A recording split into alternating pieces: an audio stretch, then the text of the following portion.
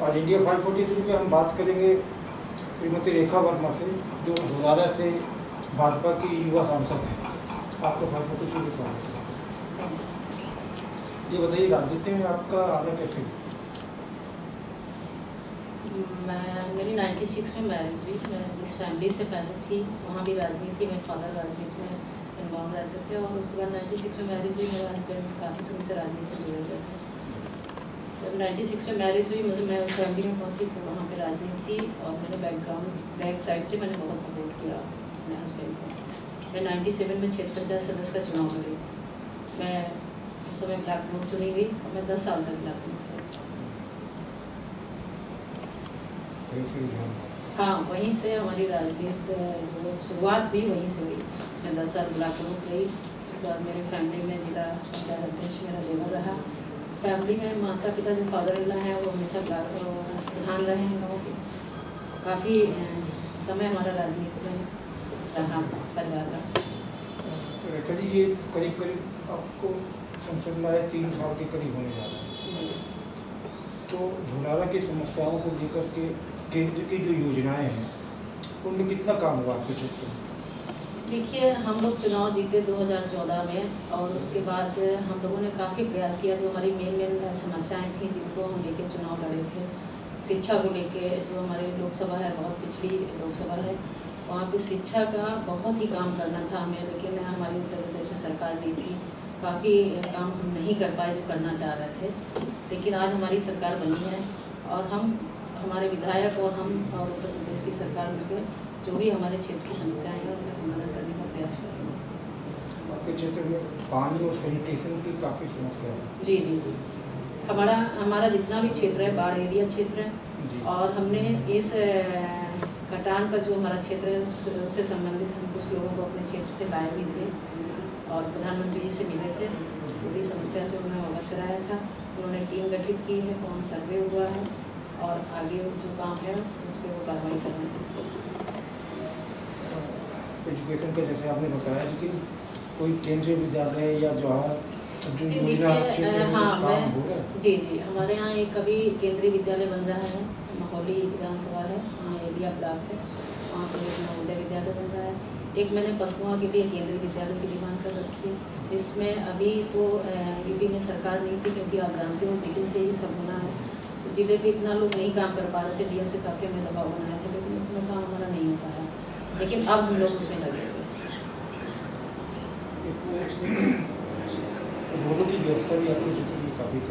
है देखिए हमारा अभी ढाई साल का जो कार्यकाल रहा उसमें हमने पी एन देशवाई से बहुत सारी करवाई हमारी कम से कम नहीं नाइन्टी सिक्स के करीब रोडें भी हैं और वो सारी हमने पी एन देशवाई से करवाई हाँ। दिक्कत आई जो हमारा उत्तर प्रदेश से जो काम होना था जो पी एन डब्ल्यू जो विभाग हमारे हैं जो हमारे वहाँ पर काम कर सकते थे विभाग के द्वारा उतना काम हमारा नहीं हो पाया क्योंकि हमारी सरकार वहाँ पे नहीं थी। इस वजह से दिक्कत आई।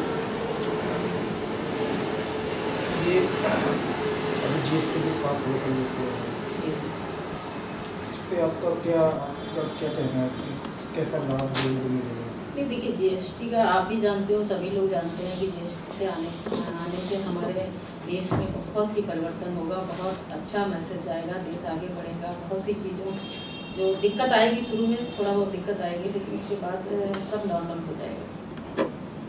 ये आदर्श ग्राम योजना में आपने कोई काम दिया हाँ मैंने सांसद आदर्श गाँव में मैंने अपने कस्बा विधानसभा में एक गाँव लिया था डकौरा। जिसमें मैंने काम करवाया है लेकिन उतना काम नहीं करवा पाई क्योंकि जो भी विभाग काम वहाँ पे करना था वो सब स्टेट से स्टेट के अंदर आते थे। तो हमने लेटर तो बहुत लिखे लेकिन उतना काम नहीं हो पाया। लेकिन अब हम लोग प्रयास करेंगे पूरा कि वहाँ पे जो भी वहाँ पे दिक्कतें हैं या वहाँ की समस्याएँ हैं, उनका समाधान एम पी का कहना है कि जो एम पी एल फंड है सांसद निधि जो है, वो भी काफ़ी कम है और कई बार गाँव के लोगों का ये दबाव रहता है कि भाई हमारे यहाँ ये रोड बनवा दीजिए, हमारे ये करवा दीजिए। लेकिन वो फंड इतना कम है कि उससे सबका निवारण हो नहीं सकता। इस मामले में कुछ कई लोगों ने, कई एम पी ने बात करी तो उन्होंने कहा है इसको बढ़ाना चाहिए इस कोई राय है? नहीं देखिए मेरा अपना मानना है कि जितना अ, मुझे मिल है एंबुलेंस उससे हमारी जो ज़रूरतें हैं तो हम कर सकते हैं लेकिन जितना हम करना चाहते हैं उतना नहीं कर पाते हैं। लेकिन इसके लिए गवर्नमेंट बहुत पैसा देती है। हमारी स्टेट में सरकार नहीं थी हम आपको बार बार यही बात कहेंगे कि स्टेट में सरकार नहीं थी इस वजह से हम जो करना चाहते थे नहीं कर पाए। लेकिन गवर्नमेंट बहुत अलग अलग तरीके से फंडिंग करती है हम उससे काम करेंगे वो विभाग हमारे लिए काम करेंगे हमारे क्षेत्र में। एक स्टेट की बात होगी लेकिन जो केंद्रीय योजनाएँ हैं जिसका फंड जिसको भी फंड करती है केंद्र सरकार जी जी जी। उसके उसके अंतर्गत कई सी योजनाएँ जैसे उज्ज्वला योजना है जी जी जी। ग्रामीण सड़क योजना है प्रधानमंत्री किसान बीमा योजना है उसका फंड तो केंद्र देती है। नहीं देखिए उज्ज्वला योजना का आपको बताया हमारा जिला जो हमारी दो विधानसभाएँ लगती हैं सीतापुर में। वो टॉप पे उज्ज्वला गैस कनेक्शन में रहा है पहले नंबर पे उत्तर प्रदेश में रहा है। बहुत कनेक्शन हुए हैं और बहुत लोगों को लाभ मिला है। इसका लोग संतुष्ट हैं और उसका रिज़ल्ट उत्तर प्रदेश की जो जनता है उसने दिया है। हमें तीन सौ पच्चीस सीटें देके एक पूर्ण बहुमत की सरकार बनाने का जो मौका हमें दिया है तो हमारी जनता का आशीर्वाद और सहयोग रहा हमारी भारतीय जनता पार्टी के साथ में। और जो योजनाएँ आई हैं प्रधानमंत्री जी की, वो भी कहीं ना कहीं उत्तर प्रदेश की सरकार ना होने की वजह से प्रभावित हो रही थी। लेकिन अब ऐसा नहीं अब हमारी सरकार बन गई है, सारी योजनाएँ। समय पे लोगों को उसको लाभ मिलेगा और समय पे हम लोग उस पर जो भी समस्याएँ आएँगी उनका समाधान करेंगे। दो साल का समय बचा है जी। कौन कौन सी ऐसी योजनाएँ हैं जो क्षेत्र में या जो ऐसे काम हैं जिनको आप चाहते हैं कि आप पूरा करें?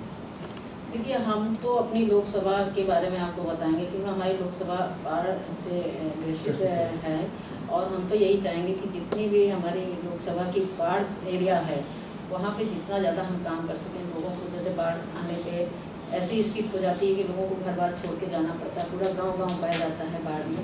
ये स्थिति होती है उस पर हम लोग ज़रूर गवर्नमेंट से हाँ बात करेंगे और उसमें जो हो सकता है वो करने का प्रयास करेंगे।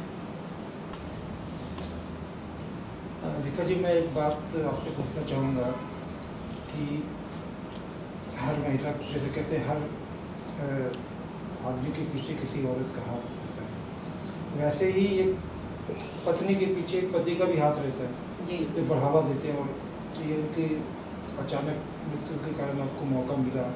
लेकिन जैसा हमने सुना कि उनका काफ़ी सहयोग आपको रहा है इस बारे में कुछ कहिए। जी मैं लाखनऊ थी और जब 2014 का चुनाव चल रहा था उस बीच में हमारे हस्बैंड ही टिकट मांग रहे थे।